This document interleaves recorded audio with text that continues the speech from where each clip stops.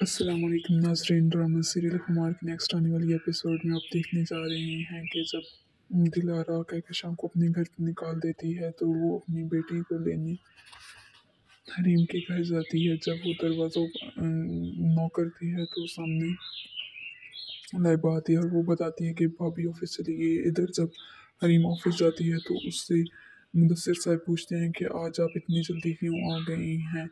तो हरीम बताती है कि आज लाइबा को लेने फाइज की अम्मी ने आना था और मैं उनका सामना नहीं करना चाहती, इसलिए मैं आज जल्दी ऑफ़िस आ गई हूँ। तो मुदसर साहब कहते हैं, ये तो ठीक बात है, आपने फाइज के बारे में कुछ पूछा लाइबा से?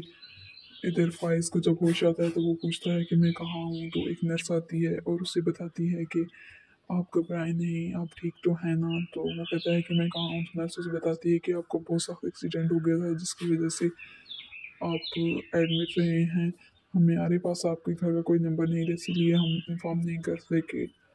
इधर सब नासिर अपना चेकअप करवाने डॉक्टर के पास जाता है तो डॉक्टर से पूछता है कि डॉक्टर साहब कोई ख़तरे वाली बात तो नहीं है? तो डॉक्टर उसे कहते हैं कि ना से मैं तुम्हें किसी भी हाल फैमिली में नहीं रखना चाहता, तुम्हारा कटाउन में ट्यूमर हुआ तो हमें इसका ऑपरेशन या सर्जरी करने